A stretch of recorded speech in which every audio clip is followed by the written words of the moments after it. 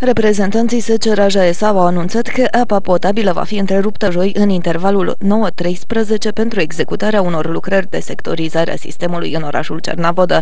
Însă nu toți abonații vor fi afectați de lucrări, ci numai cei care locuiesc în cartierul Trust. Seceraja ESA își cere scuze față de consumatorii afectați de aceste lucrări și îi asigură că va face tot ce este necesar pentru finalizarea lucrărilor și reluarea furnizării apei potabile într-un timp cât mai scurt.